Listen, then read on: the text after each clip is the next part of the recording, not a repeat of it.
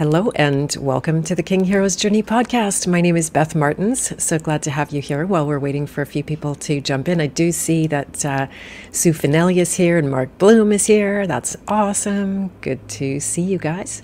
And let's see if I can. For a few people. Oh, almost caught that. so uh, I'm super happy to be here with Chance Garton. Did I say your name correctly, by the way? That's how I usually say it. Although Excellent. Garton sounds kind of cool too. Garton. Excellent. Garton. I will say I noticed on the banner that it's innerverse.com, but actually it's innerversepodcast.com. But, oh, uh, totally ruined no it. Oh, I meant to ask you. okay. okay, I'm going to change that. So we'll we'll uh, I'll take a second now to do that while people are still logging on and uh, I can't tell you how many names I've misspelled or things like oh, that I've boy. done and then published it. So it's uh, part of the podcast host's life. There's many more details than you would think before you get into it. Yeah, yeah, no, and and you know that just like guessing is always going to lead you down a garden path. So this is the second time I've spelled something wrong. Hopefully, we don't go for third. Innerversepodcast.com is where you can find Mr. Chance, and uh, I definitely recommend to go over there. And there's some pretty interesting stuff. I am newer to his work, but it looks like we have a whole lot of things in common, and uh, I think that's probably why you reached out to me in the first place. So that's that's awesome. And uh, you might see me on on uh, Chance's podcast over at Innerverse as well. So that's good. He's nodding. Excellent. Hello to Droid132, uh, Andrew Creel. Maybe I'll just call you Droid. Greetings and peace to you. Flat Earth Ship Bear is here. Thor at the door. Mr. Steve is here. Can you guys hear me Always all right? Good to today? have Thor. Always good to have a Thor. exactly. This is a very special one that we've got here. Yes. And uh, so just let me know if you guys can hear me okay. I'm, my guests can hear me and I hear me. So um, I think we're doing better somehow the sound is good. And I have my uh, my cat Ocean here, who attends all of the podcasts religiously live. You might see him crawl up my head and try to get my attention. Hello to Yvette. Nice to see you, and you can hear me. Excellent. All right, so let's dive in. This uh, King Heroes Journey podcast is to highlight those often men, not exclusively by any means, but uh, that are out there speaking the truth in a way that many people may know and see it, but aren't brave enough to put their voice out and to stand by all of those things that uh, some people or many people know.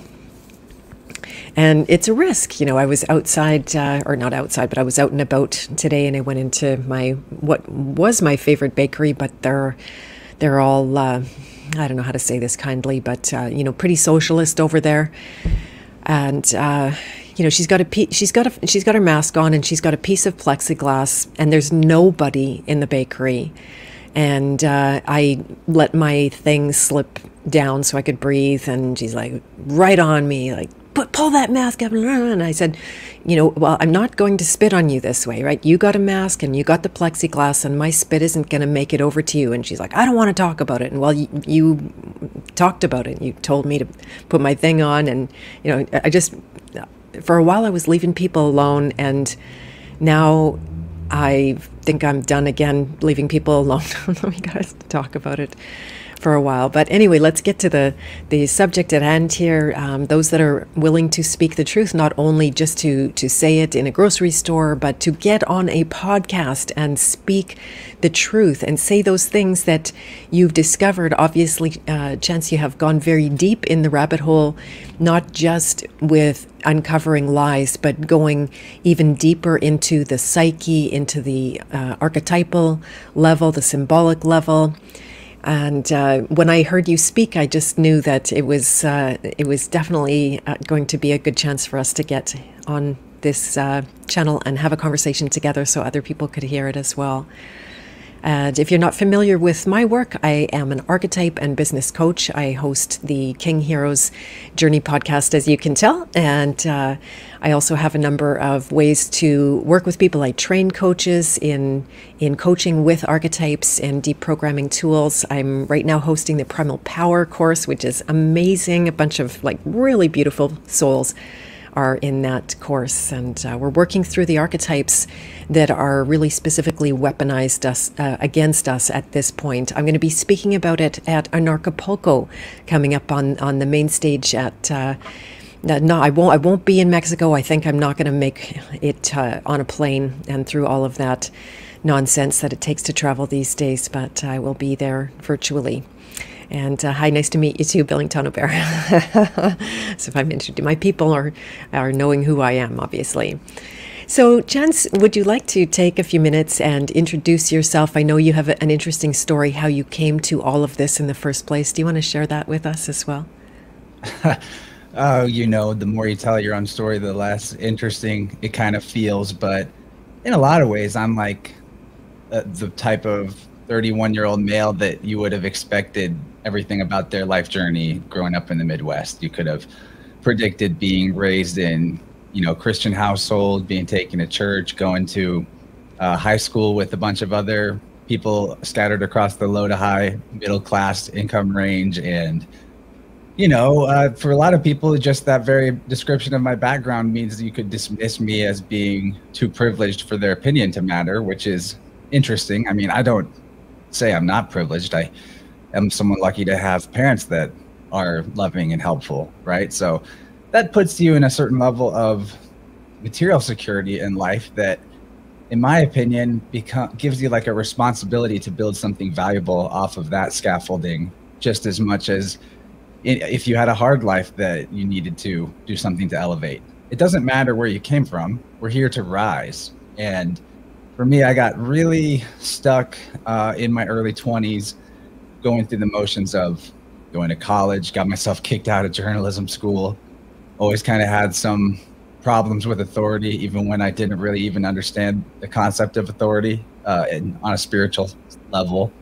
But uh, what helped me, because we're, we're going to be talking about archetypes, what really helped me in my backstory that I never would have expected was that as an English major and film studies minor, which is not about the making of films, but it's about the visual language of film, So visual language and how that plays on not just visual language, but also, um, you know, the way different musical scores will also influence the emotions of the person viewing the piece of media, right? So getting into symbolic literacy from analyzing film and literature at that level, I didn't know it, but I was arming myself with the first line of psychic self-defense that you need in order to navigate the uh, illusions spun by media constantly left and right trying to get their hooks in you play on your emotions traumatize you so that you're dilated and open to accept the messaging that is following up that uh, trauma false flags what what have you and so i still didn't really like i still wasn't in my mojo at the time of getting out of college by no means. And what happened to me was getting into going to music festivals with some friends that did that and seeing a different, seeing the what you call the counterculture. You know, there's a good and bad in that, just like everywhere. But what I witnessed was people coming together to do the stuff that they love, whether it's painters, people making music, people that just like to go and be there for the live music, whatever the case by, might be. It's like a microcosm of a bigger life. It's like a little mini incarnation when you go to this, you know, out to a field somewhere on a mountain somewhere and you're camping out for three to five days and you're with the tribe that you came with, or maybe you're alone and synchronicity is just storming in those kind of places because our fields get all linked for the same intention, which mm. is have a good time, raise the vibe. And that's when I was like, oh man, magic is a real thing. Stuff happens that you cannot explain materially and it was it's as like I don't know, mundane as it seems, going to music festivals literally woke me up to my spiritual path because it also showed me not just, you too. See, okay, I, everybody gets it that's that's done these these festivals that went to the right ones. They they can be so life changing because it's just like, oh, here's humanity in celebration of our gifts, and it's crazy that we even have to like set a time and a date and all gather together and pay a ticket fee to even have those experiences because that is a symptom of the disassociation of humanity from spirit in my opinion because creative creativity itself is like our link to the creator uh, it's our little ability to subcreate in the in the imaginal, the way that Tolkien calls it, uh, subcreation. Really interesting take that mm. we work with the primary elements of creation, and then we sort of alchemically can do something with that and make little miniature worlds in our own world, in the in the larger world, if you will. So I got into just like drawing with sharpies and like learning Adobe programs for digital art and things like that. And all of a sudden, this void inside me started to feel fulfilled. And it was just by getting into my creative path. And then synchronicity picked up in my life outside of music festivals and those type of events. I started having conversations like this where I'm like, I, I really think creativity might be the actual true religion. I mean, uh, in a, it's not just about that. In uh, in truth, we there's an element of purifying our vessel that is very important too, so that we can hold a greater charge. But one on the creative path will realize these things as they seek to ascend in the levels of vision that they can put a body in, put into a body, right? So you realize, like, wow, if I feel constantly kind of low key tired or agitated, my paintings are worse, or whatever the, the task is. So these paths intertwine intertwine with each other and having these kind of conversations start to appear in my life after I started building up my personal energy was what made me want to get into doing podcasts and oh my gosh that was the real life changer because hmm. the I don't know the rhetoric that I had going into that stuff compared to now it's just like I'm a totally different guy I've learned so much and how to discern the ring of truth as what you titled this episode is one of the most important things. And actually, although there was intu- intuition of truth before that, it wasn't really till like last year that it clicked that the answer to that was that you just got to define the truth. But I'm going to pass it back over to you and we can pick up on that. It's really exciting to me that you also are a bestie person. uh, uh, pardon me, a what person? Uh, a festy person. Music. A festy person. Oh, yeah. yeah.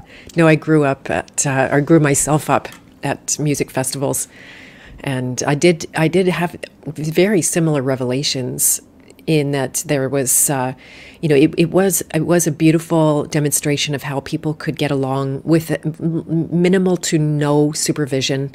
Actually we camped this year and because of covid all of the um, park rangers weren't allowed to interact with us and it went so good without them right? Like people just made their way. We just lived and there was the odd thing that needed to be dealt with and you just talked to somebody and it was done and it like you know life can be like that and i like what you say about the celebration. And i also like very much what you say about how you know it it is this artificial situation also that you, you paid your ticket and it's this once a year thing. And i would always like this is great but why don't we live like this?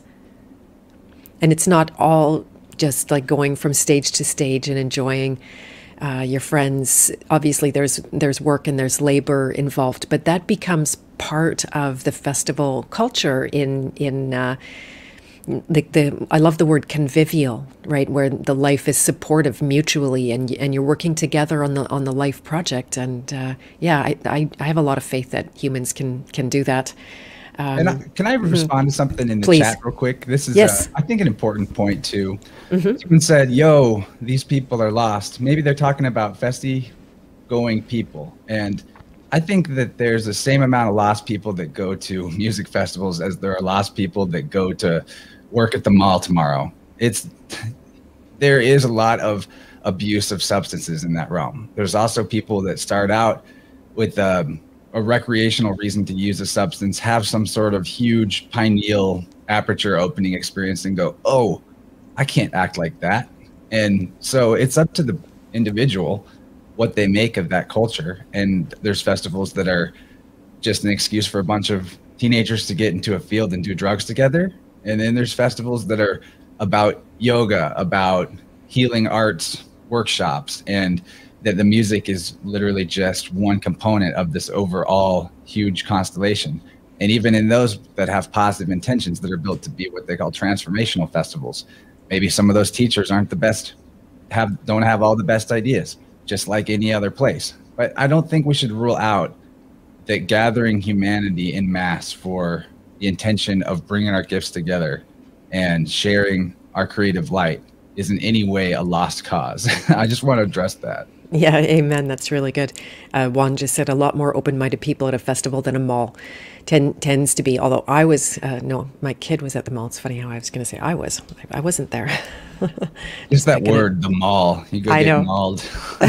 yeah, exactly exactly and then it's uh, it's lovely what you said about you know being these sub creators because if you you might be at one festival but you're actually if there's you know 500 people or 2000 people there you're you're actually you actually have 500 or 2000 worlds going on right? They're creating their own world within a world.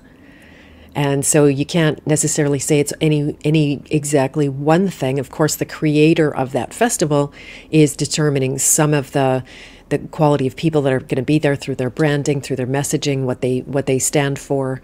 But um, you know, we so yo, watch out for corporate festivals because some of the big acts that even get around to festivals that otherwise are pretty on the light side, there's some extreme frequency warfare that goes on. This is a whole nother topic. I've talked about it on some other shows a while back, but I get why people want to like knock on that whole culture and crowd because just like any anything in the so-called counterculture of music. CIA's right there, uh, coming up to someone who's popular, like, "Hey, we'll help you really make it on the headliner list. Just you know, let's experiment with some mind control frequencies." Like, there's this dude last year when Pluto was in retrograde. All kinds of artists in the music festival industry, and of course everywhere we saw happen in Hollywood and such. But so many just started getting outed of like, "Oh, this guy's a sexual predator. Oh, this guy does this shady thing. Oh, Bassnectar, one of the biggest musical acts in the country for years. I saw them in, in Mexico. He he got busted for being a predator. And then I found a book from 1965 or something that was about how to basically it was like a how-to manual for mind control. I can't remember the title of the book off the top of my head, but the symbol that was on the cover of this book, this weird sigil, was 95% match exact same as Bassnectar's sigil or his Whoa. logo, whatever. Whoa. And I was like, and I've heard people like Mark Devlin go into how there's anecdotal stories of that guy being involved with suits, um, you know, uh, intelligence agency type suits. So mm-hmm. I, people use their discernment. I, I just think that the you go into a place like that with discernment and you see that there's a guy called Space Jesus on stage right now, and he's blasting with like gray alien symbols and UFOs and devil, devil everything. Like, you know, maybe walk away from that set. maybe don't take in that vibe. I get it.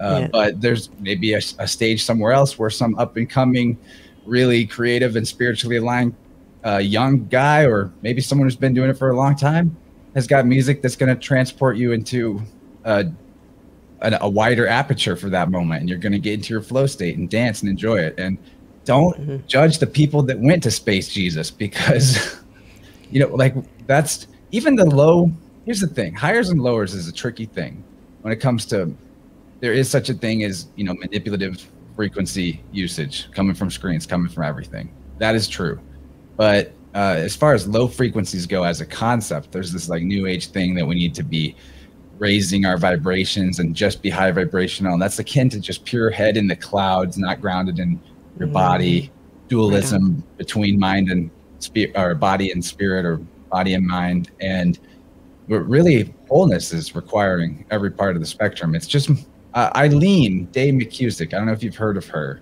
One of my favorite authors. Uh, she's a she started biofieldtuning.com and she started off as a tuning fork practitioner. Awesome energy work uh, person to learn from.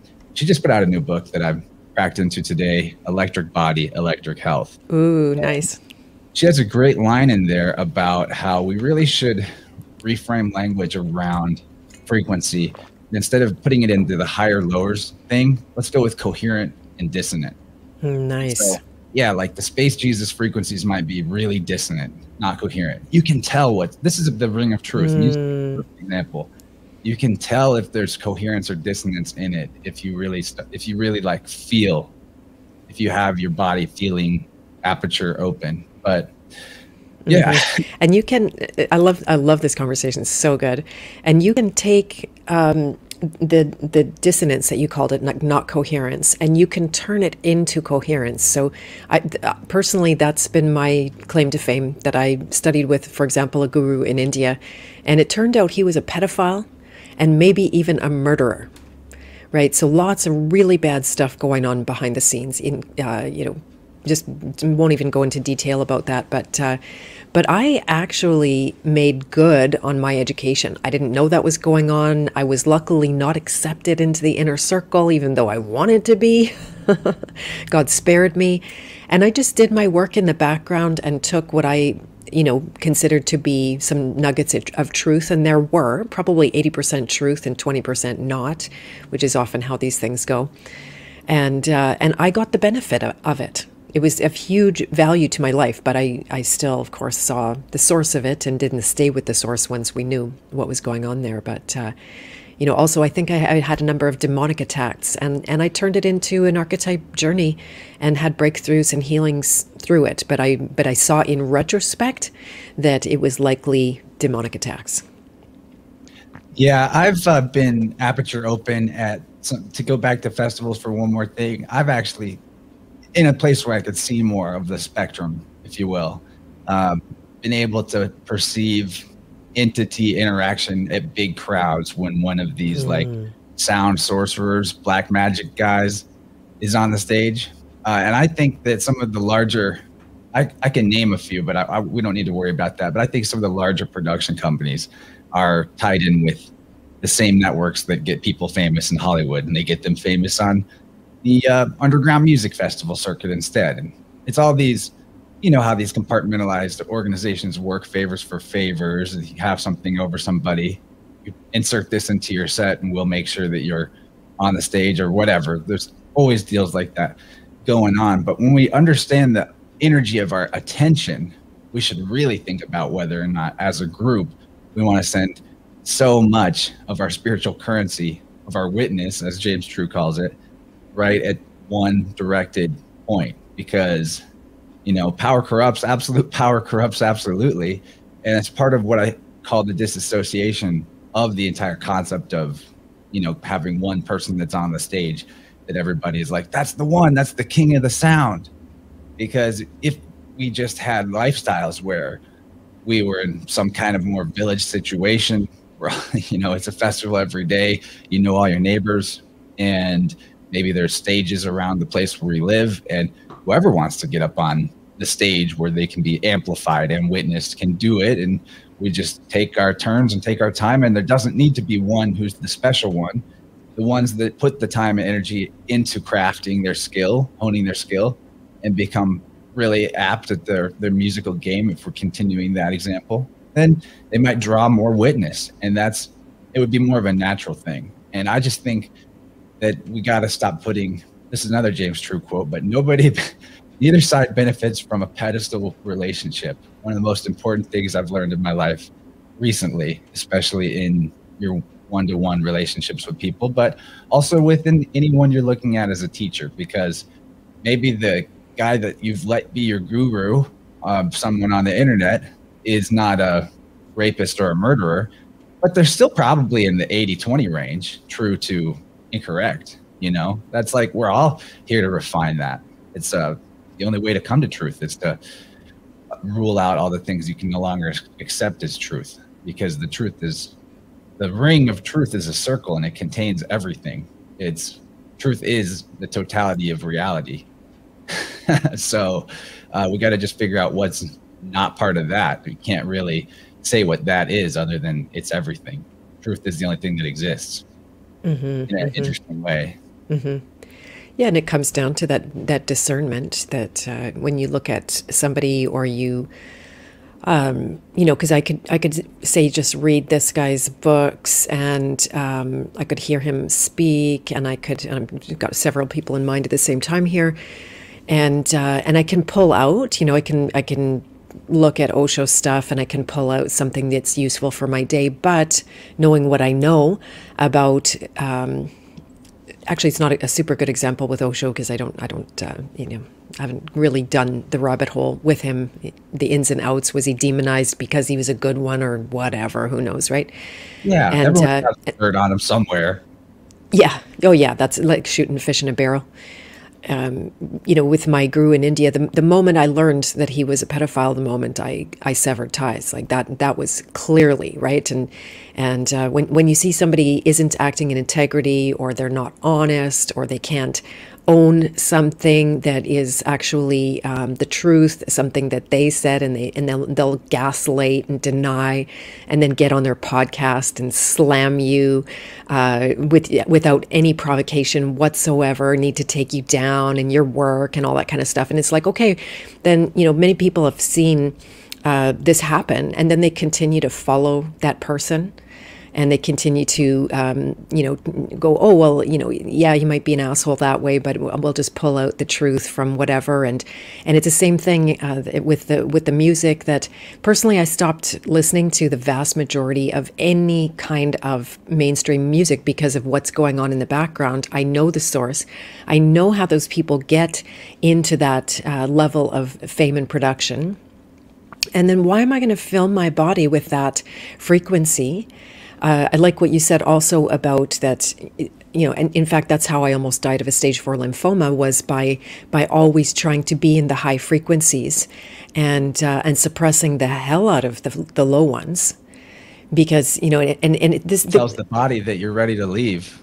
Mm-hmm, mm-hmm. it sends that message. Like, right. You don't need me. Okay, let you go. Right, right. Well, that's an interesting way to look at it. And, uh, you know, neither is it to glorify the shadow because that's not, uh, you know, that's how we get the, the psychopathic leaders of the world and people following them and, and, uh, you know, the dark magic, all that kind of thing, glorifying the dark. It's not about that. We are here, and, and you've said it already, we are here to purify and become the superconductors that we actually can be in potential and uh, and so you know it's it, very interesting to see frequency you know when when you raise it. Are you raising it because you've genuinely gone down and and recaptured yourself from the the uh, I don't know language is going to fall through here for me now, but uh, you know, uncovering a shadow is how I would talk about it. Seeing, putting the light of day on it, um, bringing consciousness to what was unconscious, and and getting back the energy you were using to suppress that that dark stuff, and then rising. Right? It's a different it's a different kind of rising. It's rising into wisdom rather than rising into denial and uh, and further suppression. So it's still raising energy. You know, some people say, oh, without the dark, we can't see the light, but I don't, I don't really think that's actually um, the truth of it personally. But if you use that light to deny and suppress the dark, then, then you're, you're not doomed, but you're going to have to go through that dark. It's not going to leave you alone. Yeah, it should be like the bones or the foundation, but not the. Let's look at it this way. I mean, the language is where we all try to talk about the same thing, but we have different language and it gets us all babbled out.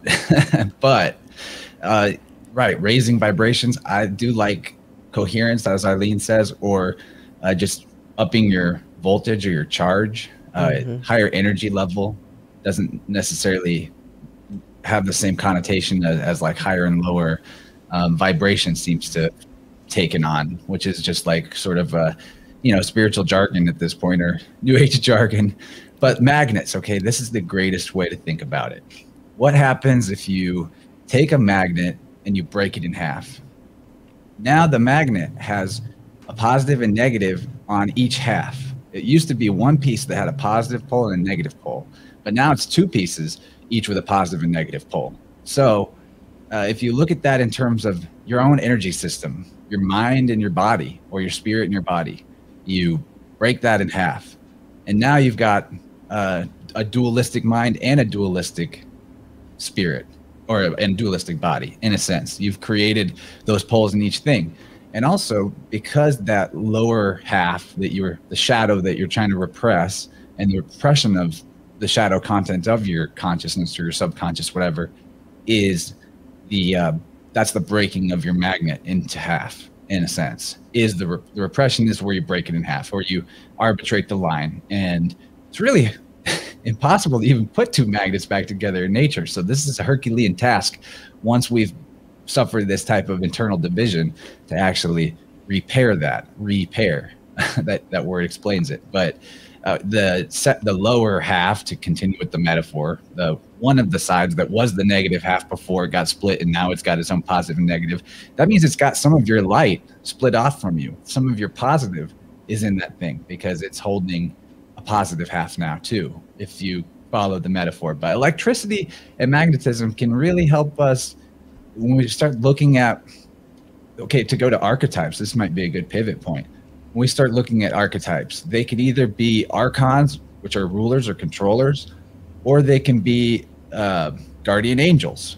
And your relationship to these archons is everything to do with your relationship to different parts of your body, which is widely unknown.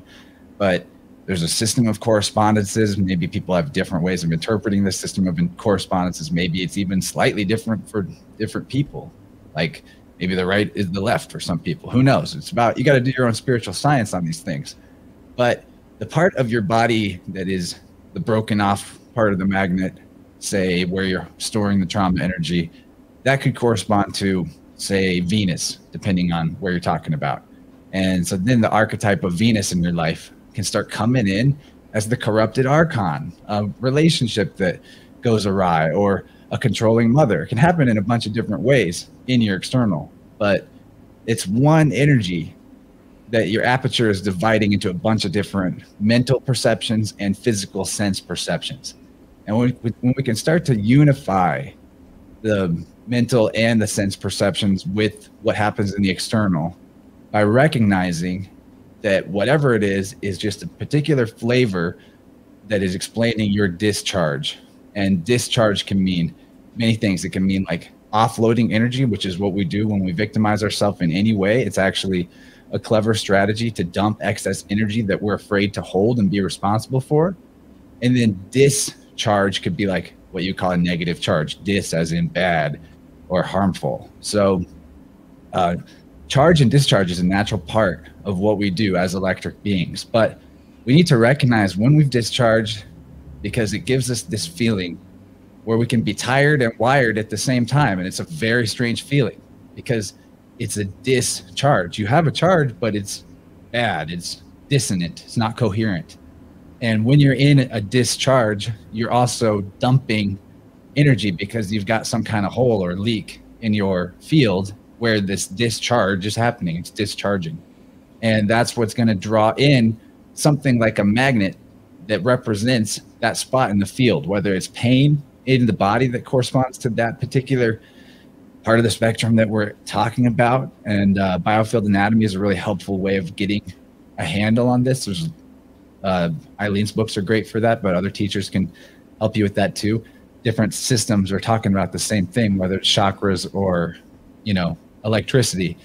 But I think that this is what we can start to use to actually heal the the connection to the unconscious content is by literally relinking in our awareness that okay, this external person or situation is linked to this type of pain, is linked to this trauma in my past.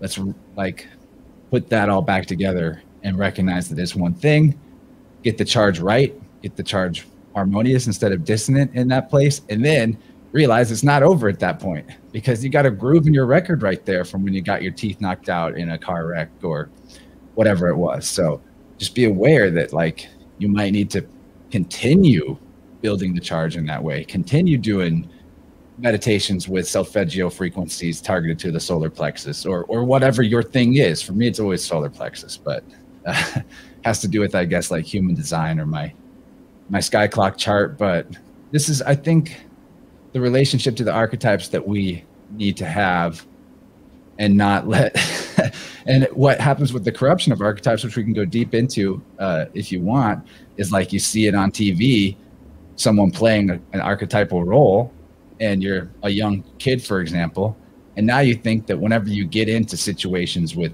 you know a romantic partner or something that this is the way that that archetype is supposed to act. So then when they act all crazy because that's how they saw it on tv or that's what they saw other people playing out you've got a corrupted version of that archetype in your mind. And so you're bringing it to yourself reigniting the trauma of every time that that archetype ever came and archon on you. and so that's where the groove gets scratched deeper and deeper. But we can definitely heal that and re- record that.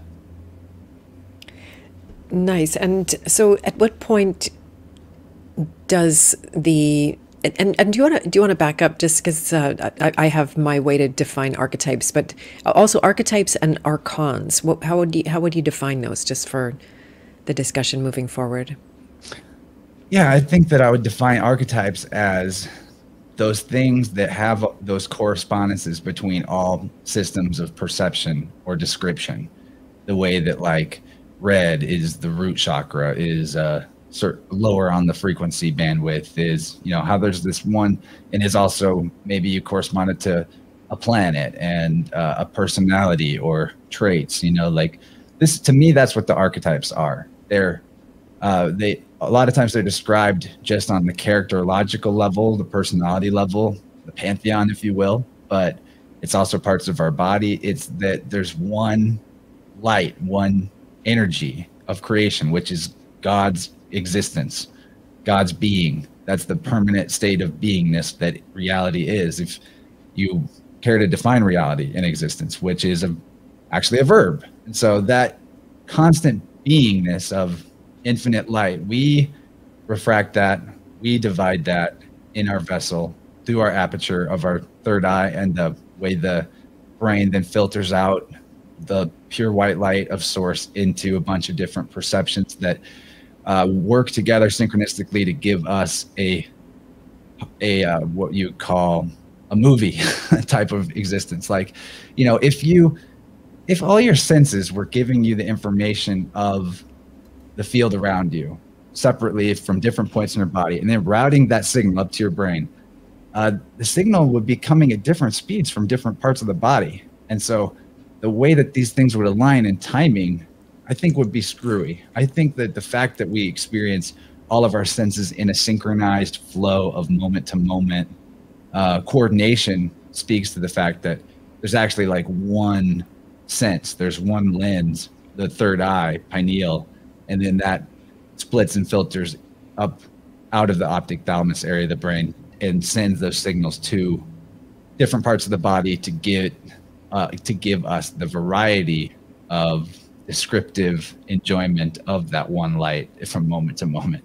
If that makes sense. Uh, so archetypes are that filtration system that gives us the story as well. That gives us the different colors that that's the palette we paint with in reality. So having a corrupted version of archetypes through the way that our temple has suffered and is dissonant and through our expectations that are programmed into us by what we see on screens, that is, I think, what keeps people living in a loop of repeating similar situations with similar people and uh, feeling stuck on a in the chronos time as i call it which is the hamster wheel time where every day is nearly the same but nothing ever changes mm-hmm, mm-hmm. that's what i call fake time human made time there you go you're getting some appreciation in the chat here Thank you, everybody. Mm-hmm.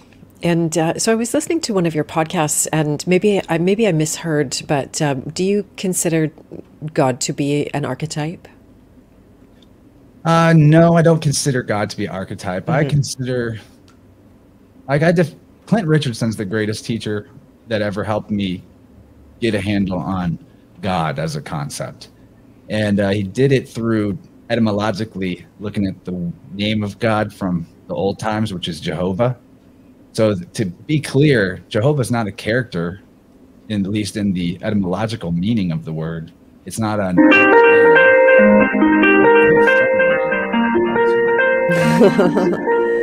I'm just glad it's not me.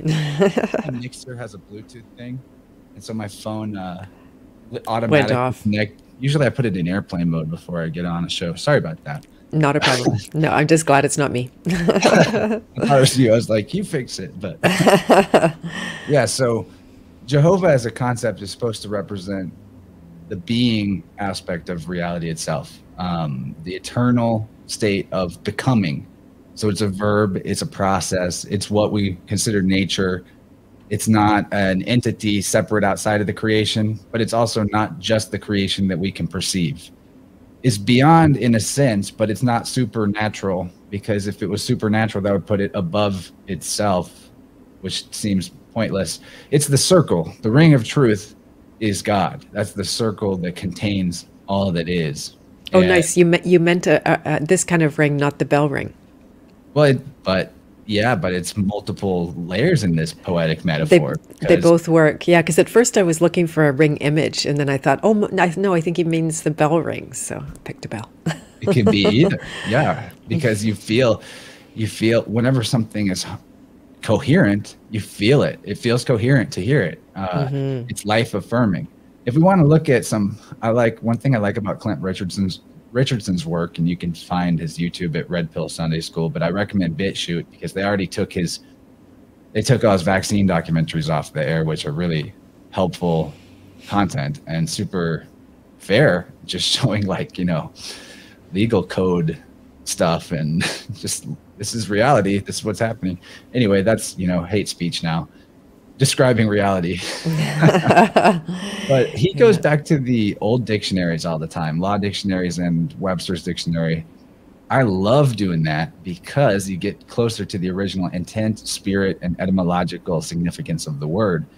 So when we look at the word truth in uh, Webster's 1828, the first definition is conformity to fact or reality, exact accordance with that which is, or has been, or shall be the truth of history can constitutes its whole value.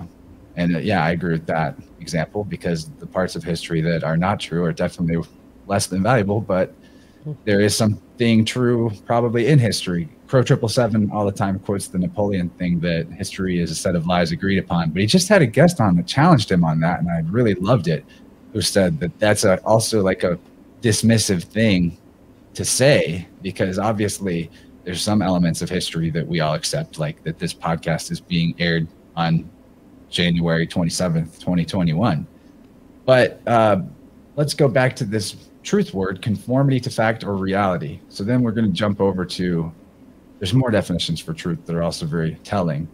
But let's go over to reality actual being or existence of anything. Okay, uh, let's look at existence existence. The first definition is the state of being or having essence as the existence of body and soul in union, the separate existence of the soul. Uh, so the next definition is life or animation is a definition for existence. So we've gone from truth and come over to existence, and one of the definitions of existence is life. I think this is what's really important to getting the ring of truth. That which is life affirming is what is coherent and mm. that which is yep. anti-life, artificial, anti-nature, not the way nature would have done it, is not necessarily going to be life. Like it's not necessarily going to be true. It might be factual, and factual has a whole different definition in the legal textbook than it does in the uh, mm-hmm. uh, English language textbook. But I think this is what we need. This is what I needed as someone who was a constant truth seeker, spiritual seeker, thirsty all the time. Well, what is spirit? It's the essence. So existence, spirit is is existence, the state of being or having essence. Well, that is what that is what Jehovah or God or truth gives us is that animating force that keeps us perpetually present in this moment and allows for there to be something instead of no thingness. Although in terms of nouns, there actually are no nouns even the old Hopi language only ever described things as a process in, in a verb way. Mm. I think that's way more useful because we get identified with nouns and that's where we get stuck and trapped. I'm this, I'm that, I'm this title, I'm this quality. And what we need to focus on is that to get out of being a truth seeker, all you got to do is define truth correctly. And if we all had the same definition of truth, we'd no longer have moral relativism or at all. I mean, we might have some disagreements about how to whether or not something is reflected in nature, and we can hash all that out. But if we got down to the basics of defining truth together as being that which actually exists, we'd be in a good place. I think we could work everything else out from there. And if anybody has moral relativists in their lives or someone wants to tell them it's my truth and your truth, but there's no the truth, then just ask them, or they say there's no such thing as absolute truth. All you got to ask them is, is that statement true? And you win. that can't be, that statement itself can't be true. If it was true, it's not true. Paradox. So, uh, you know, we all have different perspectives on it too. It's a multifaceted thing. So let's not get on our high horse about any one instance in, of something that we accept as true that we couldn't actually verify for ourselves. But in the cases that we do have the zetetic ability to verify what it is that we claim as true with our senses and maybe even show it to somebody else, then then go for it. Then stand up for that truth. But don't like be ready also for the I was wrong. Those are really powerful words. that, that should be your compass though, that you're looking for what's life affirming and what has some sort of grounds in actual reality that is perceivable in terms mm-hmm. of the ring of truth and the coherent aspect of anything that has the ring of truth. That's the life affirming aspect. That's the bell ring. And then mm. the totality of all that exists is the circle ring, if you will. Mm, beautiful. Nice. You've tied it all together. I love that. yeah. So good. The, so good. Doing this on the fly. These are kind of new metaphors for me, too. It's a lot of fun.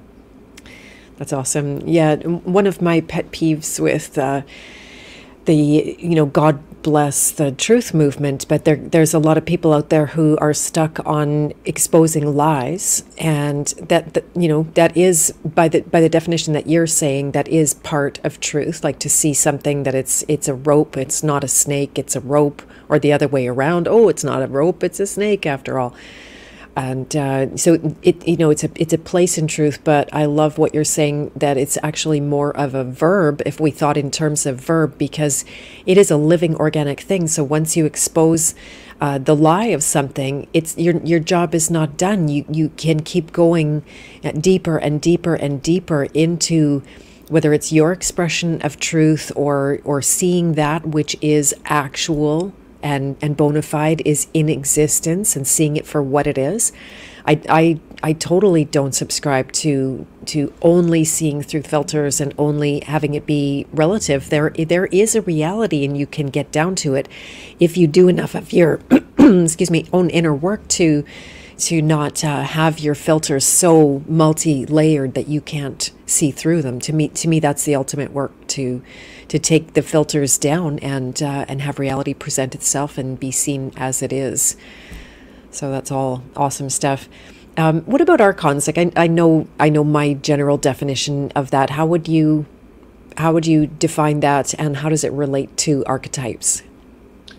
Okay, so an archon is a ruler, and in the human realm, we have archons all over the place. I think that in um, the original spiritual writings that talk about archons, they're probably talking about the actual people who put themselves up with a title to be a ruler, in my opinion.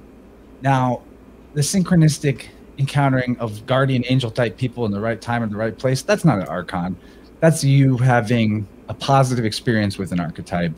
That's you being whole with that archetype. It, there, you know, there's no separation in the inner and outer. It's showing up right when you need it to. There's synchronicity and coherence there. But the negative experience of archetypes can come through in addiction, possession, the things that I, I say possession as in like even the possession of titles or our personhood in the legal sense is a type of demonic possession because it's a separate thing, an entity, a noun, an artificial that is then is created artificially, created by ourself or other men, and so that thing then tries to be like an external ruler or an an external inside of you in a weird way because like uh, that that dissonant energy that's somewhere in your field that came from some childhood experience maybe that leads you to uh, want to cover up the bad feeling of that with something like tobacco.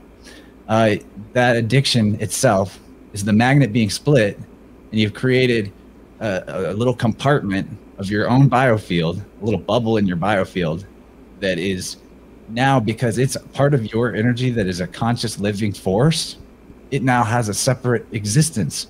You've separated it and it's become demonic. The word demon means like two. It's a it has to do with a division, an artificial mm. splitting, mm. and that's what these things are in our field that they come in as like people that get real fractured in this way is also how MK Ultra mind control works is to do this on purpose to a, a being.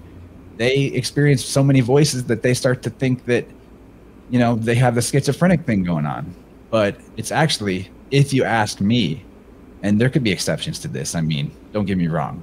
Uh, there could be exceptions of. I mean, I know from personal experience that there are also these type of energy tangles that aren't even in your field when you encounter them. They're somewhere out in the larger field doing their thing. I call those AIs. But I call the ones inside of us AIs too, because it's an artificial yeah. split. It's an artificial intelligence. It's the same exact way that it works in a computer system, which is uh, a closed loop circuitry you're putting electricity into, which is there's only really one type of energy in the universe, from what I can tell, which is that electricity.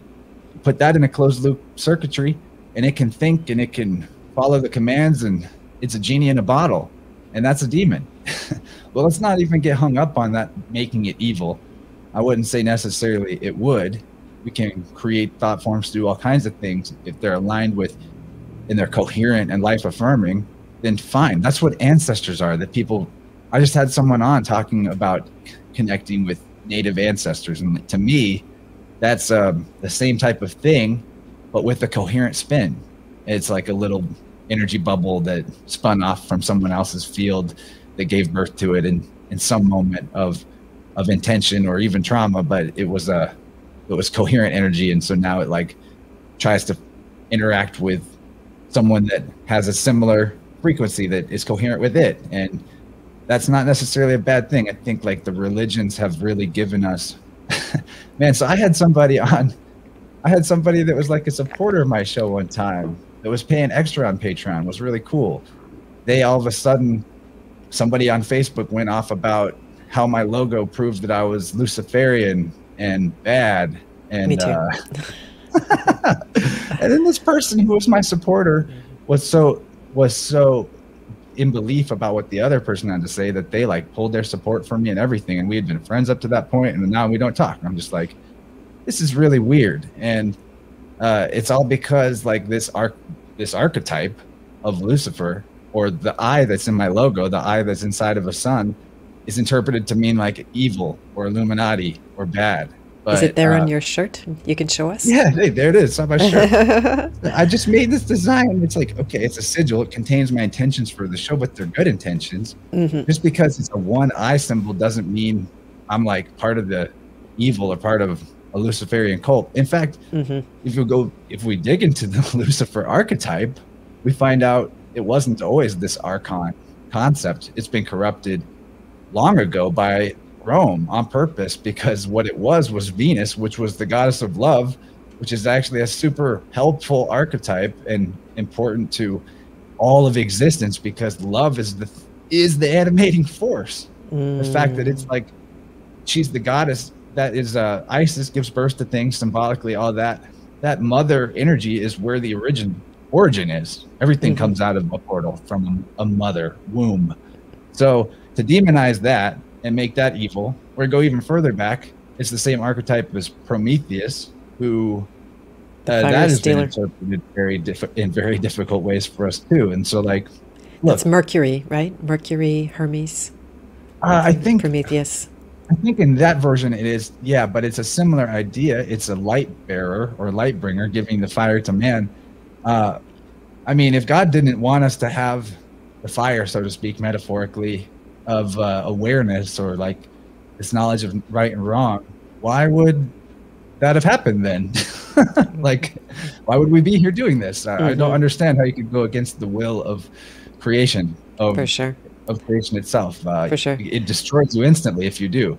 That, like, the wrath of God is nature's own way or is like the way that your own incorrect dissonant behavior destroys you automatically no there need for a, a, lightning bolt from the sky. It's automatic. That's the only wrath of god that there is. And that should be the one thing that teaches you as to whether or not a behavior is uh, right right action is like is it corrupting you or the environment around you or not? But i'm kind of going in a, a, ramble here but i just wanted to uh, yeah, I just wanted to jump in with my logo, which you can barely see up, up in the corner there, but uh, it's a trident. And uh, so I remember the day I was on on Twitter and, and someone said, Oh my God, I just went to your website. It turns out you're a Satanist and I have to demonize you and uh, unfollow you and tell everybody not to follow you. Was, and I was very well aware when I chose the, the trident of uh, the variety of meanings that it can have and uh, and and but then you actively and i'm sure you're aware of the all-seeing eye but i decided to actively put energy into this symbol that wasn't uh, dissonant that wasn't sucking the life out but that was life-giving because that's that's what i stand for personally and uh, so sometimes you take that on in a in a really deliberate way. Same thing with the, the, you know I had the the mermaid was was up in my brand. You can see there's still the remnants of it in the in the, the water element and the trident maybe related to Poseidon and stuff.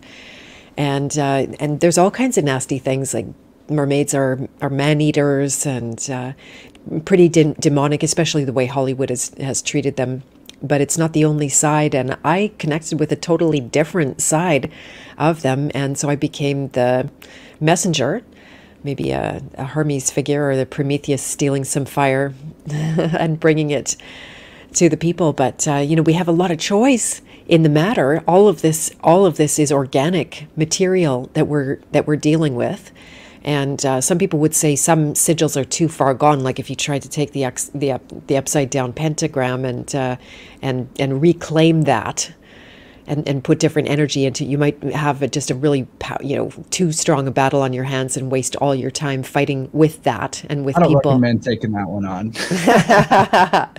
yeah, exactly. Well, the ocean is where this is what I'm talking about. Mother or energy being the origin. If you go in the ocean. If you find the right place, every shape of everything we ever invented or imagined is already there. Every mm-hmm. single type of geometry, every type of architecture, every type of biological capability, it's all in there. So it's it's definitely the origin. That's why all the old gods of uh, ancient civilizations tended to come out of the sea and be like fishmen and stuff because I think that's symbolic of pointing out that that type that part of the architect archetypes or the frequency spectrum of reality is is like the uh, foundation origin point in a in a sense, like the where the womb that everything's birthed out of is the ocean, and then even we're not out of the water right now. We're just in a different density of water. We're still underwater. Yeah, there you go. Yeah, you could say we're still we're still being born to the next level. So we're still swimming in the in the womb here. Exactly. Rex loves more mermaids. That's awesome.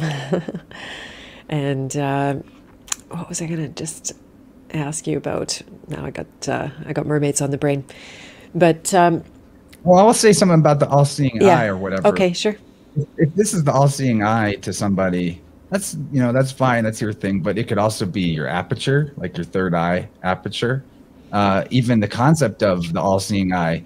What if that concept to you could mean more like what it originally meant, which is that the spirit of creation literally sees through every eye of every point of energy in the entire creation. Like spirit, one way of considering spirit is that it has to be not only the thing that animates all existence in this moment, but for it to actually properly animate all the existence in this moment, it has to have a total record of everything that ever happened first up to that point to configure things that way which as soon as you start to grapple with that concept you're like wow even being here sitting in this chair talking to you is beyond all miracles.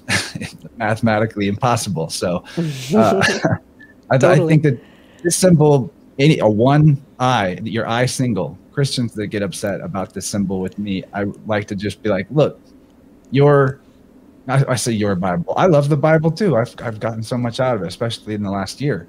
Mm. there's a specifically verses that talk about you got to make the eye single. Let you, thine eye be single. Yeah, I mean, mm. this is a not an evil or no archetype. If if that if thine eye be single, and then I'm not going to remember that. I'll have to look it up.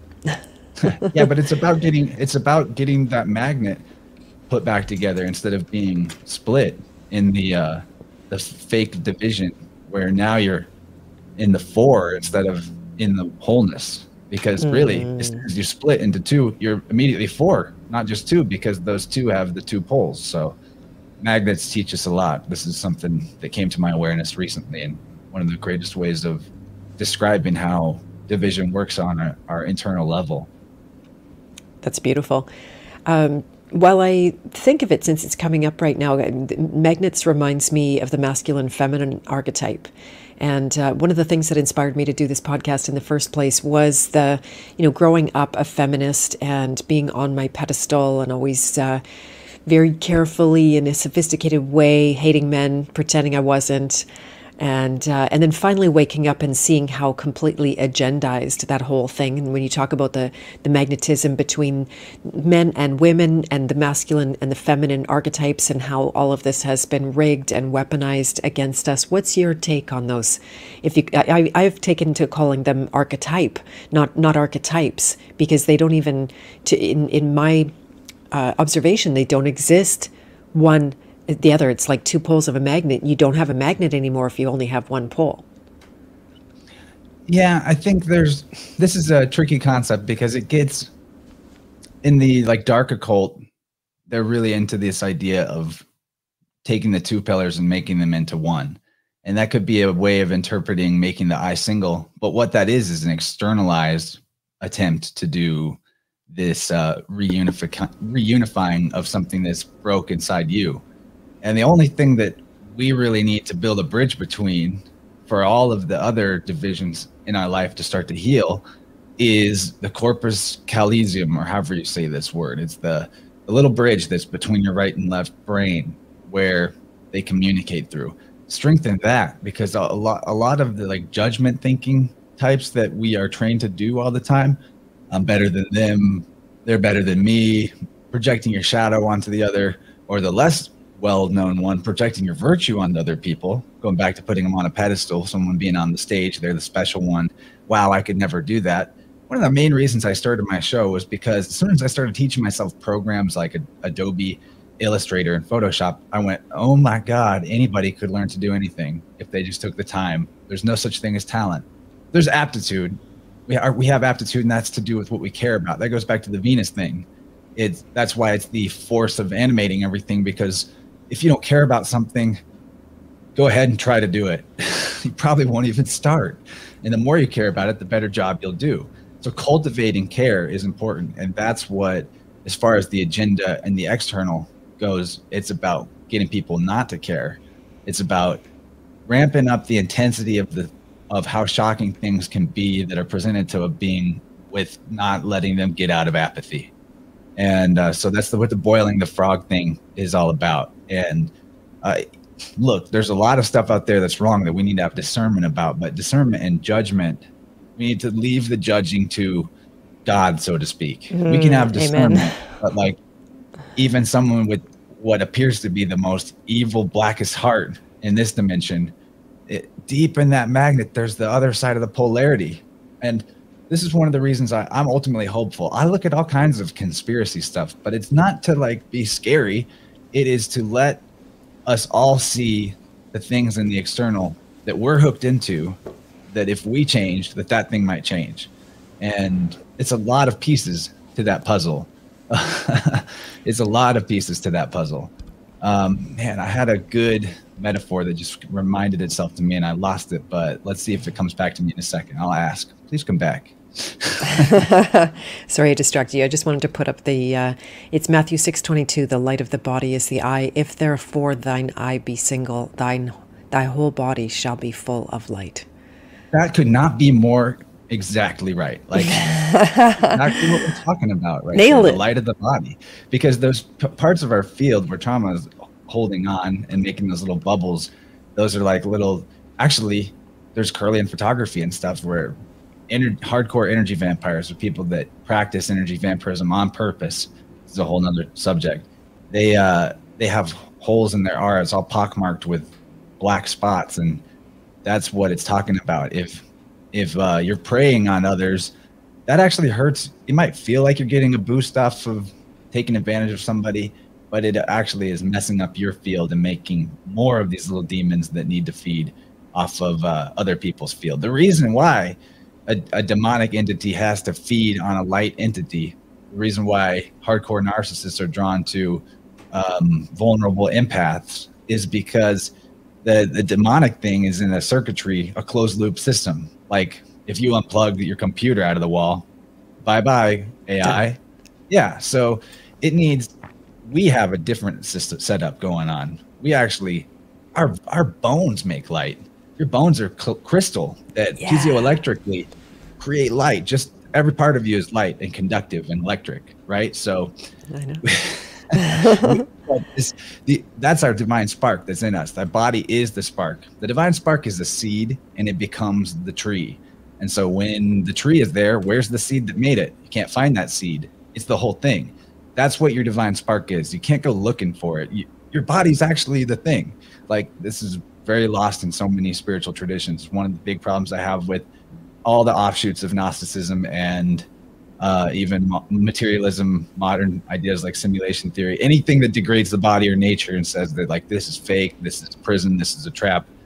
Well, yeah, you're making it one just by believing that about yourself. And so mm-hmm. I love this first because it's totally right on the money. Our our bodies are the light, and if we fill ourselves with that light, that's what the only the barriers that create those little bubbles of sort of demonic consciousness they can't exist in the light. It's mm-hmm. little pockets where the light isn't reaching that creates the this bubble if you will. If your whole body's full of light it all just gets reintegrated into your wholeness. And yeah and then all you've got left is you and your guardian angels which are the archetypes in their positive manifestation showing up right on time to give you the message you need or the opportunity you need and building up your charge is what gives you the ability to see those opportunities in the external too. You're too busy worrying about how bad you feel and pretending like you don't to even notice all the amazing potentials of just any moment of any given day that you could take advantage of. Mm-hmm. Wow, that's awesome. Um, Yep. My, my, I was going to go back to something, and I just my mind got blown by that uh, truth bomb you just dropped there. It's gone. So I all lose yeah. things in these. Oh yes. Yes, um, just about the body. So, having spent a number of years studying Eastern philosophy and going to India and working with that guru and stuff, that it wasn't quite meat suit, but it was like, oh, that that body's going to slough off, and uh, and really, there's everything from here down was considered low class and it's exactly what you said. It's not it's not that it uh, it went away. It just became intensely suppressed. It became uh, relegated into the unconscious. And and as a result what is it was what does anything do from the unconscious? It acts out trying to capture attention right? Because it, you're, you're not giving it your attention. It has uh, become starved of your attention and and it's like a like a, a little kid who's starved of attention. It's going to start to make trouble so that you pay attention to that. And i came really a long way with this and i saw at some point very uh, firsthand in my own experience seeing what an incredible love affair there is between the body and the soul as if they're two separate entities. That's language gets in our way there. But it's a total love affair. Like this this body it's a miracle to be having this conversation to be in this flesh and in these bones. Like you said the bones themselves are these uh, crystals that are conducting energy the same way that it's operating the computer that the it's it's working in the body. And so amen to that. It's uh, a lot of spiritualities slough the body off. And i totally agree with you. And someone in the chat asked if i had thoughts on death.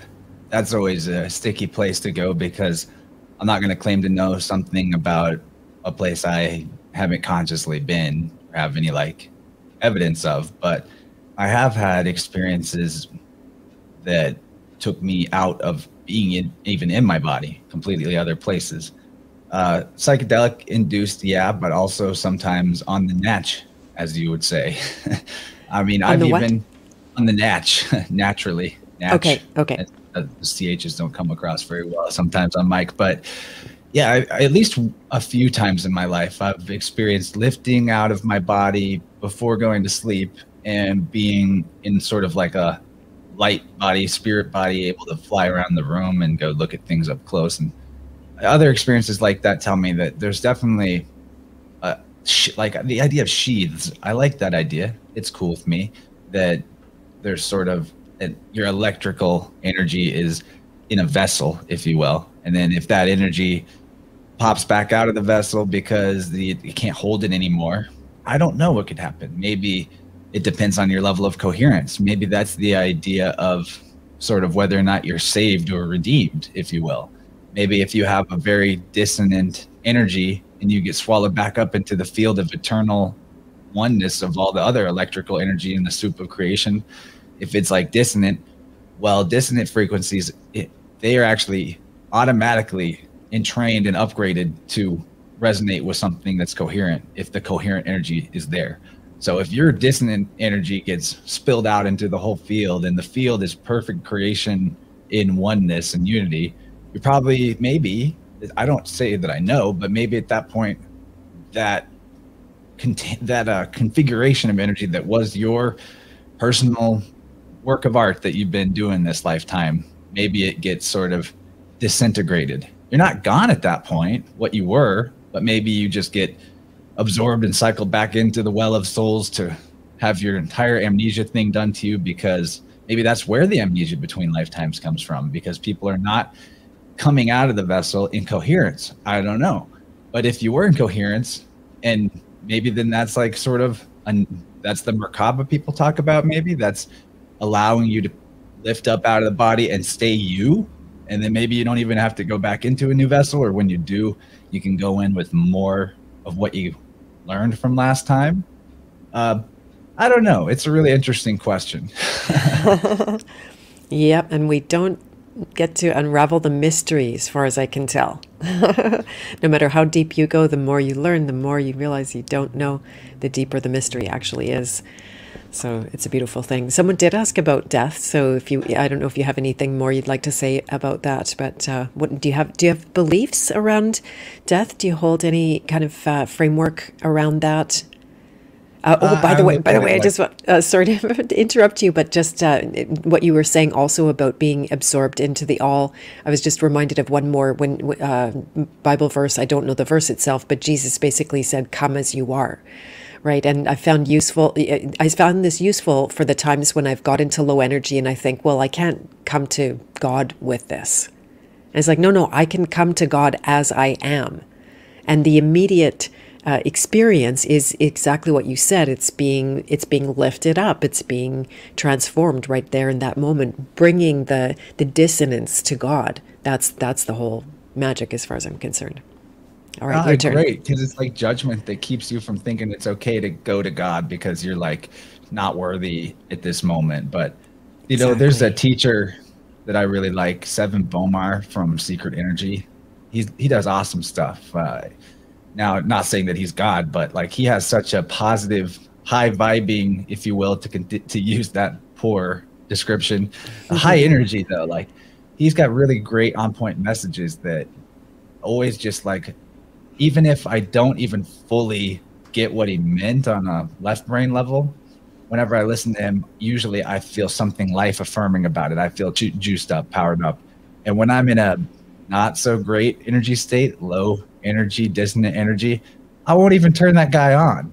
And it's funny mm-hmm. because a few times that I do go and turn him on after after a point where I'm feeling low, I feel that life affirming thing and I'm like, "Oh, that's why I listen to this guy because he's something about it is coherent because I feel energy, I feel better, cleaner energy than I felt before when I listened to him. So there's a lot of people that do that for me too. So that's a good, that's the ring of truth, man. If, even if you listen to a teacher and you don't even get half of what they said, if you feel like jazzed up, like your cells are tingling after you listen to it, or that all of a sudden you're having all kinds of ideas of something you want to go do now that would be that would be exciting to you, that's probably a good teacher. That's probably someone worth listening to. Maybe even worth trying to figure out what they meant from a left brain level too. But later yeah. you might realize, oh, I kind of got caught up in something a little culty. Maybe this isn't my thing anymore. But at the point mm-hmm. where you were mm-hmm. getting life affirming energy out of it, it was your thing. It's okay that you were in it. And then discernment might come later as your aperture opens further and you see more of what's behind the curtain maybe and that happens with all there's all kinds of teachers where I walked away from them at a certain point because mm-hmm. I got behind the curtain and I went, okay, well, all the things that I learned from them that helped me, I've integrated that. Don't need to stay in a loop on the things that they're stuck on that they are bringing to the table perpetually, if that makes sense. Mm-hmm, mm-hmm, absolutely. Yeah, I like uh, I like what you're saying about judgment. If we can zero in, I noticed that you have uh, um, inclination towards looking at the law and the contract in, in the Bible, and you have a different take on Adam and Eve. If we can jump over there and maybe weave that back to the masculine, feminine as well. So, what do you have to say? And, and are you a fan of uh, Cal Washington, by the way? I know I've heard him on shows, but I don't okay. think I've dug into his okay. stuff. Okay, yeah. So you guys would have different things to say about Adam and Eve, but I would I would love to hear and how this relates back to the archons. I just heard you talk about how, you know, there was two creations of of man and then of Adam and Eve. Yeah, uh, that's the really far out thing about the Genesis story that I didn't even know until I was looking into Clint and his uh, work that is really rooted in in biblical stuff, which is so helpful because he he figured out that the entire legal system is actually built on the foundation of the King James Bible. So when we say read the King James Bible, it's not because it's the best translation or the most understandable translation. It's because it's what the law is actually based on. And, exactly. The 1611, I have my copy about to, to land any second. And let's be real, the yeah. guy that uh, commissioned that thing also was responsible for a bunch of witch burnings and horrible, horrible stuff. He wrote the book on demonology.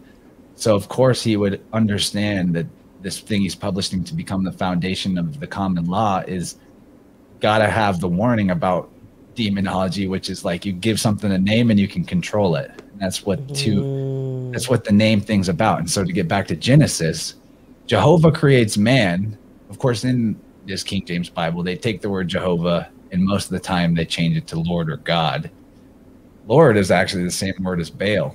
Baal means Lord, B A A L. So whenever whenever you see Lord in the Bible, you might be talking about or Elohim as well. You might be talking about these archons or magistrates. The word God in Webster's 1828, one of the definitions is a prince, ruler, or magistrate. So let's get that straight that the Bible is definitely confused confused in a lot of its terms on purpose so that you don't know left from right, God from man. and this mm-hmm. creation story of man, Jehovah being the eternal animating spirit of existence, of course, does create man because evidently we're here. And man, as a word, includes female men and male men. We're all men, actually, and that's okay. It doesn't make you less if you're a female to say I, that I am of I am of men or I'm a man. It's mm-hmm. just like a horse is a horse, even if it's a a mare or a stallion, it's mm-hmm. still a mm-hmm. horse. Mm-hmm. And even it's crazy, but woman is a legal status, has entirely different rights in the legal code. So if we want equality, maybe we shouldn't have entirely different legal statuses based on our gender and all the different pronouns we could come up with for our gender. Since pronouns aren't even what we are, to identify with them is a problem. And yeah, that which can be named can be controlled. So Mm. After Jehovah creates man, the entire race of man, as part of na- the creation of nature itself, later on we get the Elohim, which is a plural, creating Adam. And Adam is a, also meant to refer to a group or all mankind, but now it's got a specific name. You've divided it into Adam and Eve, also with a name. You've done this breaking of the magnet in half, if you will. Mm. And even in other mythologies, Zeus did this to the first men. He they seemed too happy because they had their they had their male spirit and their female spirit inhabiting one body, and uh, everyone was a hermaphrodite, I believe, in the old Greek mythology. Zeus was like, "These uh, humans are too happy, so I'm gonna throw a lightning bolt and split them in half." Mm. And yeah, it's like don't get hung up on the word Jehovah because Jehovah and Zeus have etymological connections all day and that's I get that. There's been a lot of phonetic, on purpose confusion from individuals that want to keep us from certain names. What's powerful about the name Jehovah is not as a noun, is just as the realization that God as a concept is a verb and a process of all eternity in an existence perpetually. And the Elohim thing, that's a group of magistrates, in my opinion. It's not like the Anunnaki, it's not people from space.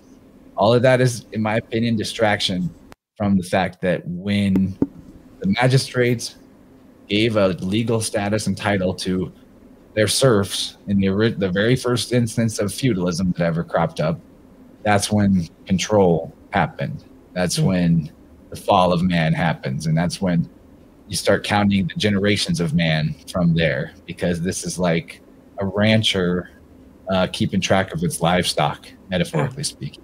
That's how I kind of see it. That's the two creation stories. There's, you know, can I ask a question? You'll do a much better job explaining the nuances of that. I'm still like a baby in terms of getting into the Bible as a place to decode information. For sure.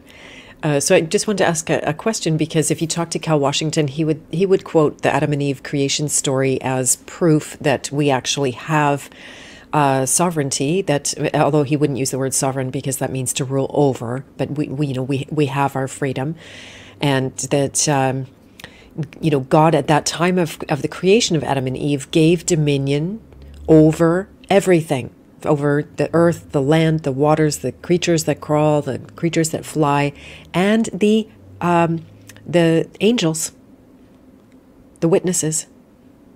Right. So, do you think that this is actually a flip, and this is this is the the dominion of the uh, what we see to be the psychopaths who run the world today?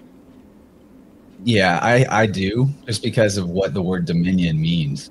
Uh, there's uh, it's interesting you said angels because the word dominion is actually one of the definitions is uh, an order of angels, the way mm. that you call like a bunch of birds a flock, a dominion of angels. Oh wow!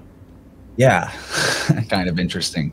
And so, angels or demons, arch- archons or uh, archons or guardian angels, I guess, guardians fairies or aliens. There's a bunch of different, you know, nature spirits or space beings. There's a bunch of ways that the same type of experience of us encountering intelligence in the field that is not in the same type of vessel that we are, uh, and the positive and negatives of that. I think that's where the original spiritual concept of angels is coming from.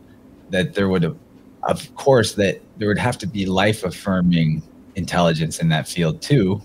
And I think in this realm, we see both forces constantly playing out. Like you got to have the decay to make way for the new life to come in, but then you also have to have some sort of witness giving and granting the essence of attention energy, which is the what spiritual current really is, is all based on attention and awareness.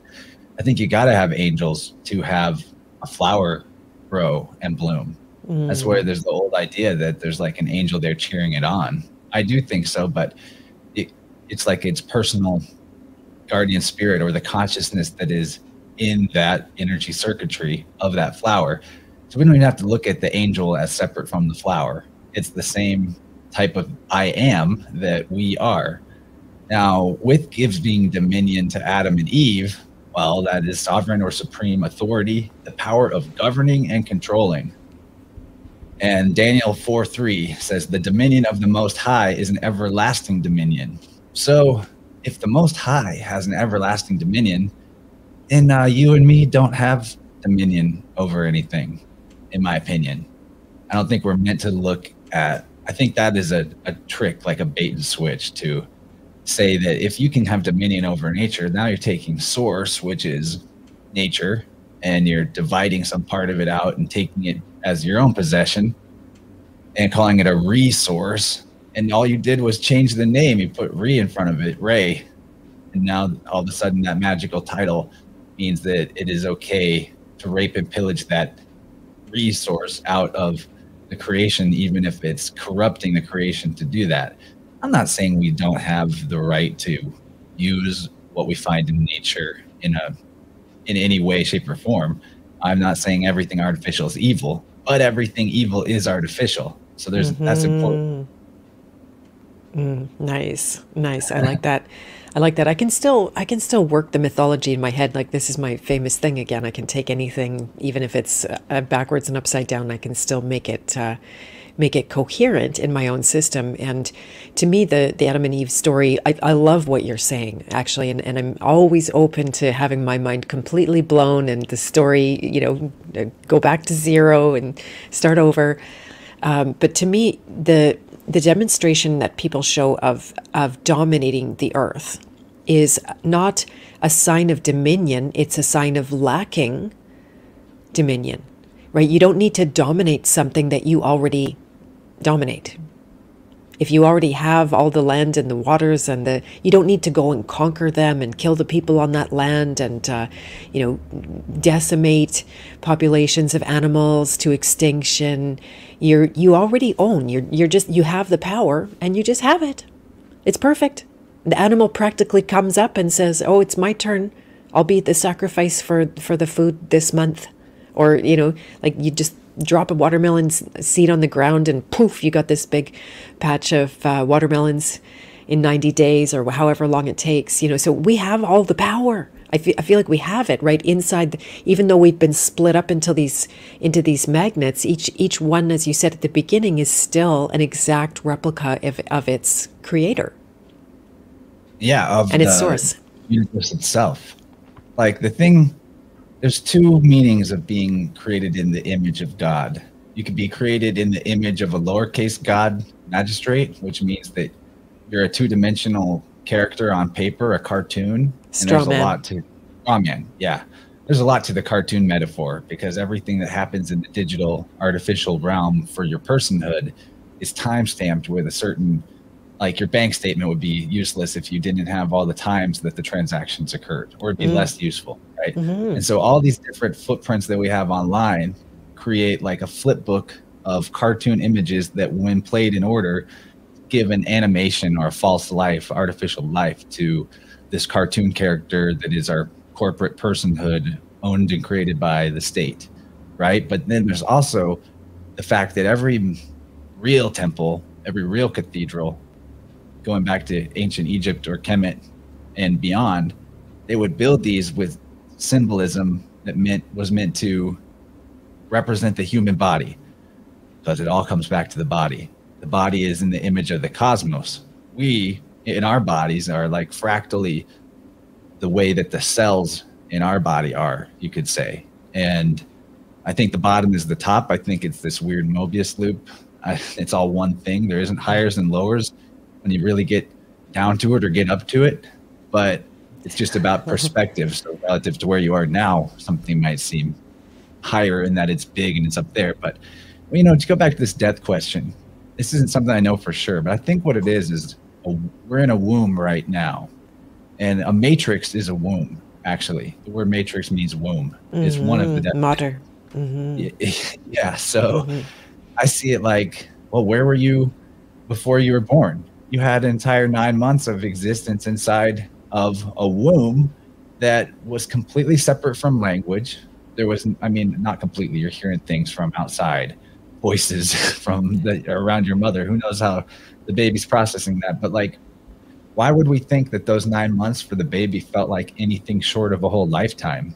When I've had uh, consciousness expansion experiences where it was like weeks at a time and then i come back and i was gone five minutes you know like time time is a spiritual the real time is spiritual movement or spiritual growth mm. or spiritual mm.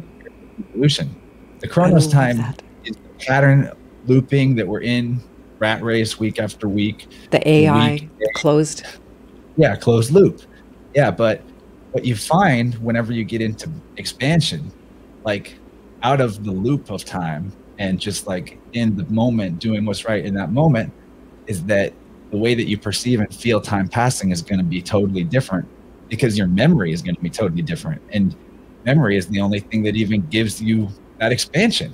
If if you forgot who i was right now would you be able to continue this conversation? No like you could happen. you got a family member what's that mean? Because like you care so much about them. If they're just deleted out of your memory, gone. That's why I think it's so important this idea of staying coherent going through this portal that we call death that is probably just hopping out of another womb somewhere is that uh, do we want all this to go completely poof and be meaningless at some point? I, I don't know. I don't want to scare anybody. Maybe that's the way it really has to be, but I don't see why in infinity that we're a part of, we couldn't change our own nature so that the nature of our experience. I mean, you can't change your own nature in a sense of like going outside of nature. You can't become supernatural.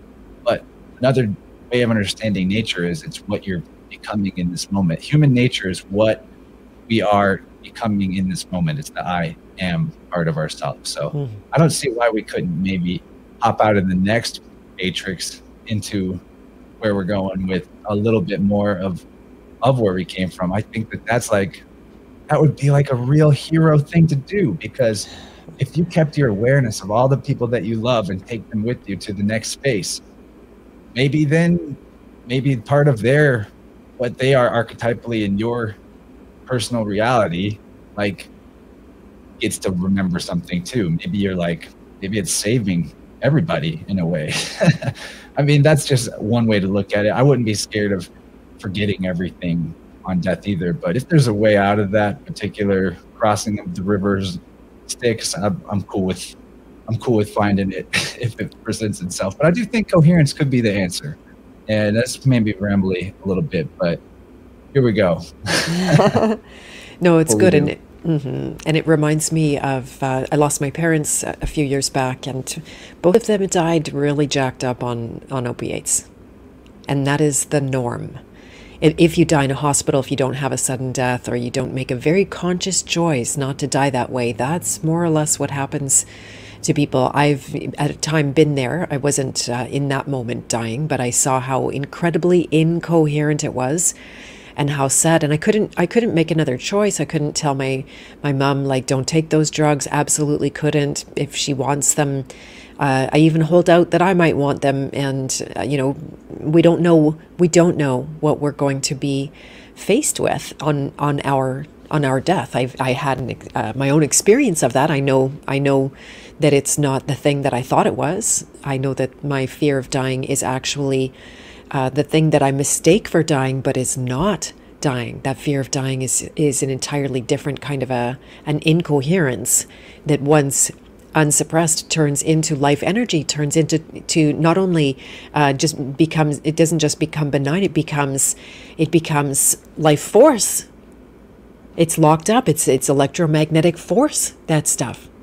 That's the transmuting for sure. Yeah that's your fuel and have you ever heard of the term terminal lucidity no but i like it I, I what the Great Awakening actually is for humanity. Hopefully not. But terminal lucidity is when somebody who's been like maybe they've through the ringer and they are on all those pills and they're on their deathbed and they've been in hospice for months and any day now they're going to die.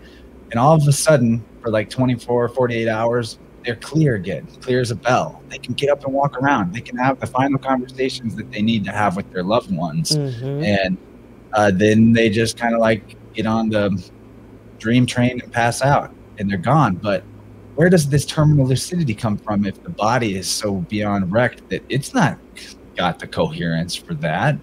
And so maybe because there's this thing called terminal lucidity, maybe once the body is completely no longer a, a proper vessel for your life force energy, maybe getting out of the shell is going to make the lucidity or the, the coherence or clarity come back. And I mean, maybe there's nothing to worry about in terms of losing yourself on death. Uh, could that's could very beautiful. Well be. That's maybe, beautiful. Maybe the only losing yourself on death is when you're so afraid of who you are that even when you jump out of the shell, that you reject the awareness of yourself and maybe like self annihilate, if you will, spiritual suicide. I won't rule that out as possible. I think that could be maybe even like a defense mechanism for the universal organism against particularly dissonant energy structures. But yeah, I mean, terminal lucidity happens. It's a real thing. Mm-hmm. And mm-hmm. hopefully, humanity is not in a terminal lucidity right now with all the waking up that's going on. Maybe it's, but even if it was, I don't think it's too late for us. We're, know, we're not something that can just be wiped out of existence in the same way as a single individual ego personality can. Uh, I don't. I mean, we were we're part of the capital T truth. There's, there's a reason why we are in existence, why we have this animating life force, why we have the spiritual discernment, why we're not just creatures of pure instinct, why we have the ability to care so much that we actually bring new like uh, the way that a triad does in a musical chord, you and me having this conversation, some third force comes through and brings out ideas and light that neither of us even knew that we were carrying. Like a lot of the conversation today is me learning what I think, not even something I. This is not prepared at all, you know. I hear you. I hear you. It's amazing. In in India, they called it satsang, like the, the keeping the company of of truth itself of that existence, right? That we keep shining the mirror back in, in, not not just on you or on me, but on truth itself, and that's how you know energy rises in coherence as we do this. I love the terminal lucidity thing. I had the exact moment with my mom where we thought she was gone from consciousness, she was gone from expression, she couldn't talk anymore, she couldn't she couldn't be coherent, just to use that that word coherent, if I can still say it. And then all of a sudden I'm there in the middle of the night with her and and she comes to and she starts singing a song. Like this is a woman who couldn't talk and you know wasn't with it. And we thought her last moments were any second. And then all of a sudden she's singing a song and we're having a chat and we're talking and i started singing with her. Uh, do my ears hang low? Do they wobble to and fro? Like why did she pick that one? I don't know. A real childhood kind of thing moment for me and it was utter lucidity, but she wasn't any less jacked up on the opiates. There wasn't, right? So there was something that bust through in that moment that was maybe present the whole time. So it's actually very beautiful to hold open that it's not, you know, all of our people that are dying in that state. It's not ruining their chances. It's not like a plot by the deep state to to ruin their chance to to uh, transcend or whatever. But actually I like your I like your um, your analogy so much better because it's it's we're not in Chronos. That is an artificial thing the magistrate gave us. Here's your time, and you're going to meet this time, and the time's up, and and that's not the universe that I'm in. My universe is continuous. It's a spiral. There's no there's no end to to how coherent energy can become. You're not going to look back and, at least as far as I can tell, you're not going to look back and go, whew, that's done. we're that's finished. why it's about the journey, not the destination. Because Amen. The, what we're on right now is an infinite stair, infinite game of chutes and ladders. Like you're going to get on the mm. chute and you can drop as far as you want to drop, or you can keep climbing. What's interesting is when people hit what they perceive as rock bottom, all of a sudden they feel like they're on top again. so even that, even the path of Darth Vader is going to take you to truth. You either find out who you are by embodying it and feeling the resonance of it and recognizing it for what it is, or you find out who you are by being who you're not so much that you can't take it anymore. Mm-hmm. And we all do a little of mm. both in our life journey, a lot of both, really. Exactly. It reminds me of the trickster archetype who sometimes teaches how not to be. Here, look at me and all the trouble I get in. You want to be like that too?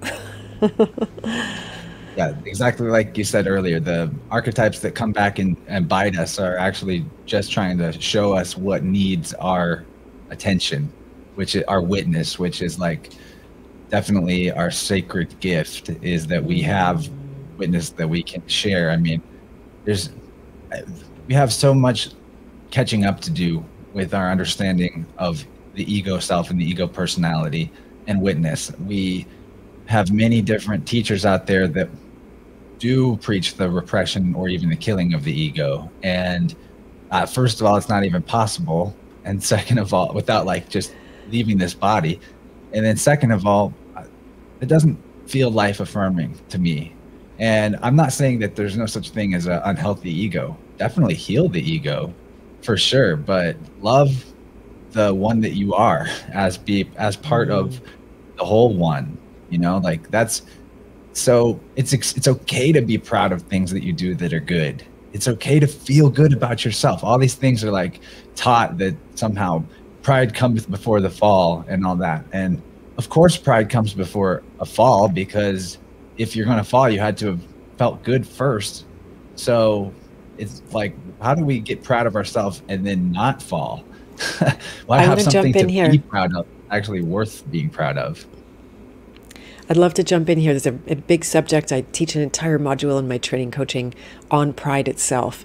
And what I just heard possibly is that this the Bible has been switched out. The word is not pride before the fall, or, or actually no, I have to take that back. So it is pride cometh before the fall. I actually 100% agree with that.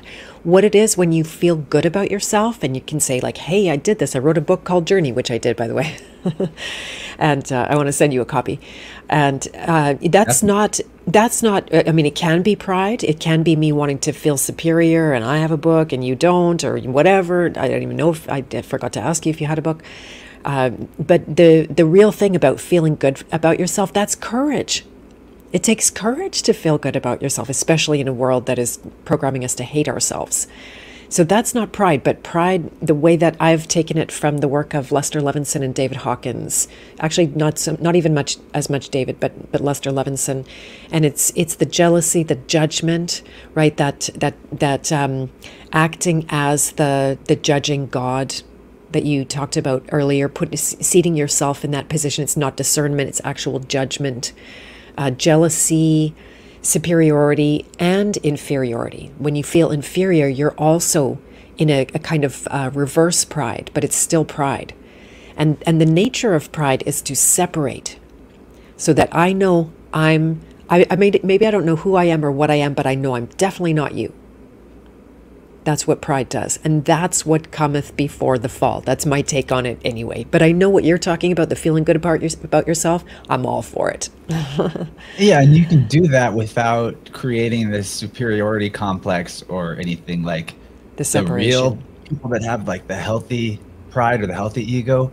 Everything that they go around doing that they feel so good about that they did, others that see it go, I feel kind of like maybe I have permission to be cooler and I don't mean cool like in a, exactly. a trendy, fashionable way. I mean just like in a truly like to me, a cool person is somebody that it feels good to be around. That mm. when that what the things that they do and the stories they tell me about their life make me go, oh wow, I'd like to try that. I think I'm going to, or or what have you. And I like what you said about courage because uh, to go back to James True, I read some of his books recently and got picked up some really good stuff there. And uh, there's this amazing dichotomy he paints between courage and hope, and that hope is actually the toxic thing that they gave us all the way since back in Star Wars Episode Four, A New Hope, where hope is hope is the cue thing. You know, hope is wait and trust the plan and not necessarily act. It takes courage to act, and hope is like usually wait. I'm not saying that there aren't things that are okay to hope for, like I hope everything works out for everybody, but that doesn't make me not act. We got to recognize where, like, I hope this person I love changes, or that I hope that the dynamic I'm in with with this situation changes is actually you sort of failing to act. And if we do have enough pride in ourself, as in like we care about ourself so much that we want to make sure that the right thing happens for us and by us, then that's uh, also something that can give you that courage because I, I think that the greatest way to feel at peace with is to trust God, in my opinion, to trust reality, which is really important. Uh, even Jesus Christ, that that name, there's some biblical scholars that say that it means Jehovah is salvation, which is literally saying reality is salvation or truth is salvation. Makes perfect sense. Uh, if you can trust yourself that you intend to do the right thing in any situation and that you have the type of pride in yourself that says i'm going to i am that good of a person to do the, the right thing as best i can as i see it following my conscience which is also the same thing as common sense uh, then you can relax about whether or not things are going to be okay in your life because all you can know and trust that whatever comes up, a trustworthy person is going to be there because I'm there, and that's the good kind of pride. That's a healthy kind of pride. Mm. Not not believing that you're incapable of making mistakes, but that when you recognize the mistake, you admit it, and then you know make the alteration. It's a different kind of pride. It's not a stuck in your ways pride. It's a I care what happens to me. I care mm-hmm. what happens to others because of me. Mm-hmm. And so I want to be I want to set the intention to be the person I trust most in any room. And that's okay. it's okay to have that level of trust in yourself, but uh, you should you know live up to that i guess. That's we're all working on that. There's plenty of things i could do to be more trustworthy to myself. Like do i completely eliminate sugar from my diet for example? Nah. Do i i eat pretty clean but there's still like things i let slide um and i think also it's okay to have to have those things to room for improvement because it is infinite stairs as long as we're making some kind of pivot on a regular basis towards a higher level of coherence, things will continue to work themselves out and we'll continue to have more life affirming mojo. And hmm. and if I keep building my mojo, I might write a book too, like you. Very well done that you did you got a book done. I can't wait to crack in and that'll be a great way for me to mine some subjects for when we have you on InnerVerse pretty soon. Yay. so good. This has been amazing, and I have a feeling we're going to have to do this again if you're open to it, because uh, we just scratched the surface on all kinds of deep subjects there. But the time has uh, come to a close. Salted Cedar said this guy has some knowledge. Wow, the fear of the Lord is the beginning of wisdom. Interesting. That's a whole other can of worms. We won't go down that road this moment, but it's really good to to, to make a note for the future on on that.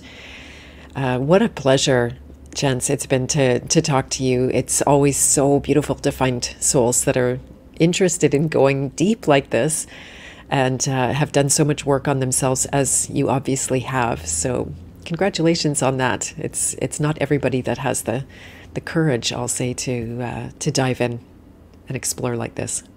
Thank you. Sometimes I think my rhetoric is way higher level than my actual behavior in my daily life. There's so many ways that I could get healthier, get more coherent. Working on it though, and you know, it can, we can feel like we are bad at, at the self work when we examine ourselves because the things that have always been kind of a sticking point often remain a sticking point. But uh, it's I always feel like we're right at the beginning of something great, and this next mo- this next thing is going to be the great thing, and then after that is going to be just that feeling of anticipation is a really helpful way to build your personal charge or energy or power because the, the last thing I'll say is memory is formed better if you have anticipation, participation, and recollection. So you're bringing witness to something three times, magic number. Ooh. And that's going to solidify that in your field as an experience that you learned and grow from instead of that you sleepwalk your way through and never even record in your memory banks. That's beautiful. So many truth drops. I, I just honestly to have to go back. This would be a good one to to transcribe. I have a, a goal to do that eventually to transcribe the best of all the the King Hero Journey podcasts, and this one would qualify for sure. So do visit Chance at um, innerversepodcast.com and uh, subscribe to your favorite place where you like to listen to podcasts and uh, get regular. I've just scratched the surface of, of your shows, but have thoroughly enjoyed everything that I've listened to so far. And uh, if you're um, anything else you want to share that you'd like people to take you up on or support Beth however you can out there. If you guys are listening, haven't found a way to show some support, please do. Uh, this work is more complicated than it looks to just get up here and talk. And so true. we all benefit from getting that energy circuitry linked together with one another. Re- reciprocity is one of the keys to to living it in truth and in nature. It's a, a gift for gifts type of energy system. And if you guys can give some of your energy to Beth, it will only come back and reflect back towards you as you benefit off of the journey that she's on. So thank you for having me here, Beth. It's been a blast. I hope people do check out some episodes of my show. I don't talk this much in my show. Some do. Some of them I do. Usually, I let the guest have a lot of room to uh, talk, and we have really great subjects on all kinds of diverse topics. If you go through the top of the list and you're like, eh, I know all this stuff, dig a little further down, there's really no, there's not necessarily any one thing it's about. We hopefully talk about many empowering things, and there's something for everybody. I like to think. And you have one of the best uh, radio voices. Also, I really enjoy your voice. And that's a big thing because I, that's a place where you can measure coherence, or not measure, that's a bad way to say it, but uh, sense coherence uh, in, in somebody's voice. So, anyway, that's good one. You have a good one. it's funny. I hated the sound of my voice when I started. And actually, mm. some of my some of the ways that I speak, my elocution, if you will, has improved from doing this. So that's kind of cool. I, I don't sound the way I did on old recordings yet still today and that's maybe part of my uh that's part of our development our voice gets stronger yeah i uh, have always been a chatty guy though so it's not any surprise i wound up in this line of work it's a lot of fun for me nice nice I got my cat barfing in the background here. That's a good sound effect for the to end the podcast with. I recognize that sound anywhere. you gotta yeah. yourself. Yeah. Gandalf is the one that pukes all the time. right, right. We will have a, a, cat cast coming. I can't resist. I've got tons of content in my head. It's about cat abuse. Uh, most people won't talk about cat abuse because it's it's uh, uh, you know there's a lot of shame around it. So we're we're going to get into that. Some little spoof I cannot resist doing. And uh, definitely go and visit inner, innerversepodcast.com. Take chance up on uh, his his podcast, and uh, no doubt you will see him here again because this was a really fun conversation. Thank you everyone for being here. If you'd like to find out more about what I do, get a copy of my book, uh, which is called Journey: a, a map of archetypes to find lost purpose in a sea of meaninglessness uh, then you can visit my website, bethmartens.com. And um, you can also sign up to do a Merpreneur or a King Heroes Journey archetype quiz. I should have laid that on you, Chance, before we did it, but it's not too late. We can do it again or do it now.